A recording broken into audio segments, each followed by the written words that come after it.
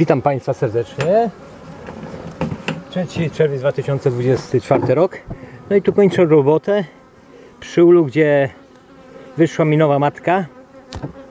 I jak mówiłem w jednym nagraniu, w ten, mal, tą malutką ilość czerwiu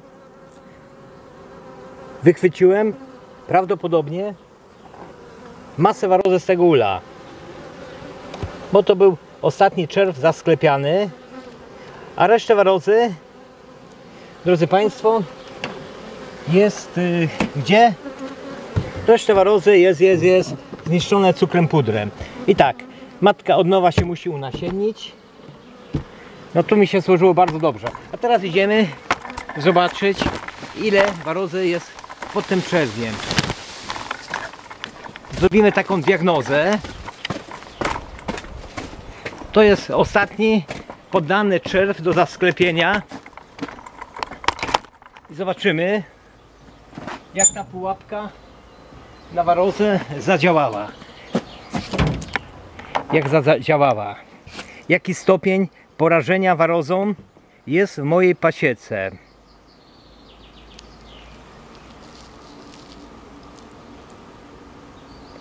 I jak Państwo widzą, pszczółki zdrowe i czyste.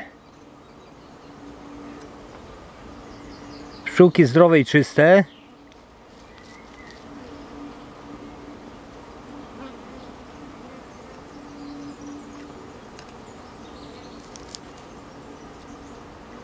Tylko z nagrań muszę ustalić,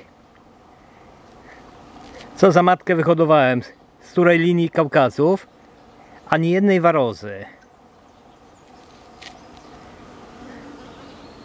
Więc moje Kaukazy nie są rabusiami, bo aby były rabusiami, to ten czerw byłby obsięgnięty bez warozy. No w takiej puli czerwiu ani jednej sztuki warozy, drodzy Państwo, a choćby było kilka, to jest ostatni czerw zasklepiony, no to jest rewelacja, rewelacja, drodzy Państwo.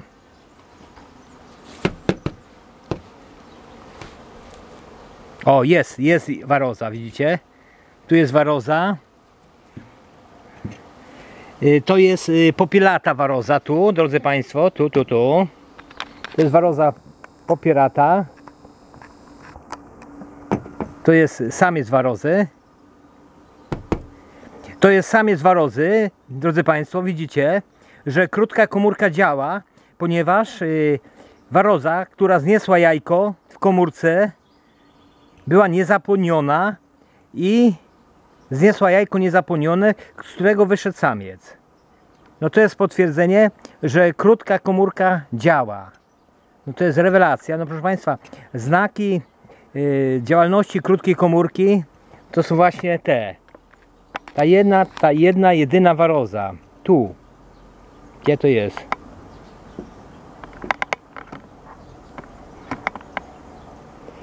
Proszę Państwa, ta jedna, jedyna waroza, o, w tym miejscu, widzicie Państwo, to jest samiec warozy.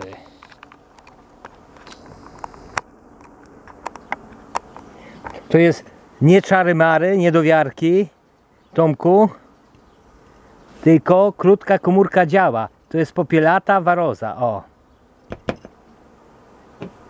To jest samiec warozy popielaty.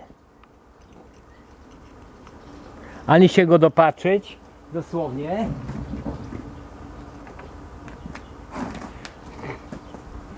Teraz y, gdzie on się podział? Skubany. No straciłem z nim kontakt. A jest.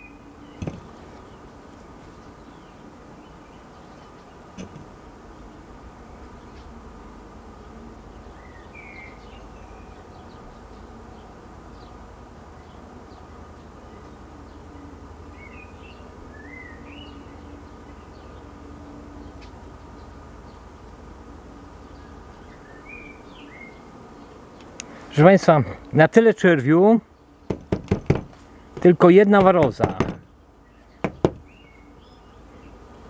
O, tu jest druga, też samiec, o. Tu jest drugi samiec. No to jest dowód na to, to widać po kolorze, że ta krótka komórka to jest rewelacja, skoro nie ma mrów warozy, ale która jest, no to niestety są samce, po prostu tak, y, tak y, krótka komórka działa, że wygasza warozę. To jest y, zgodnie z tą teorią, co głosiłem wcześniej, że waroza niezapłoniona, gdy wchodzi do komórki, znosi jajo niezapłonione, z którego wychodzi samiec. Tego naprawdę nie spotkacie opisanego w żadnej literaturze, tylko ja wysnułem jako pierwszy zjadacz chleba taki wniosek i to właśnie tym nagraniem potwierdzam. Proszę Państwa, załóżmy, że w całym ulu dwie warozy. No to co to za porażenie? Teraz sobie sami musicie odpowiedzieć na pytanie. Czy krótka komórka nie jest rewelacją?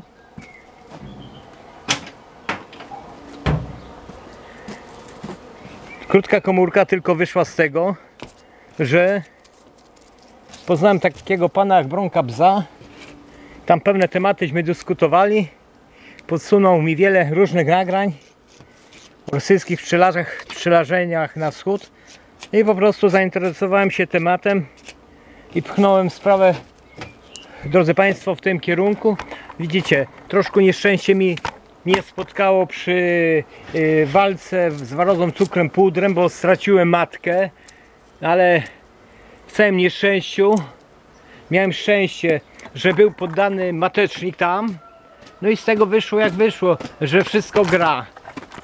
Drodzy Państwo, jest młoda matka, znów będę czekał kiedy zacznie czerwić.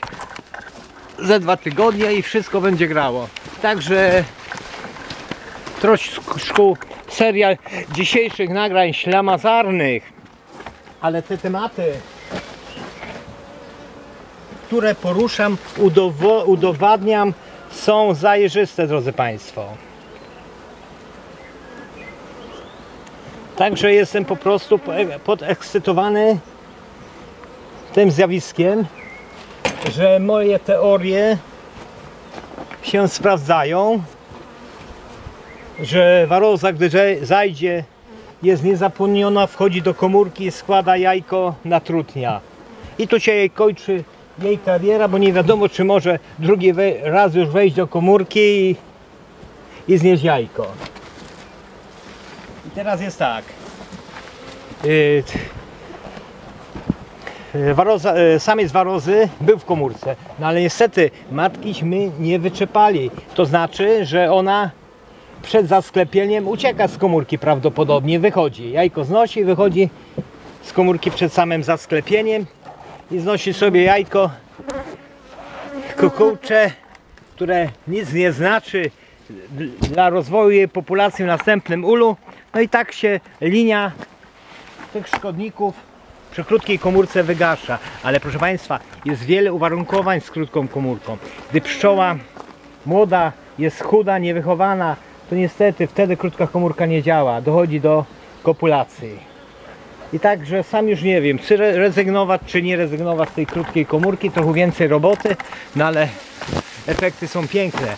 I drodzy Państwo, e, tymi wnioskami z dzisiejszych przeglądów serdecznie się z Państwem żegnam.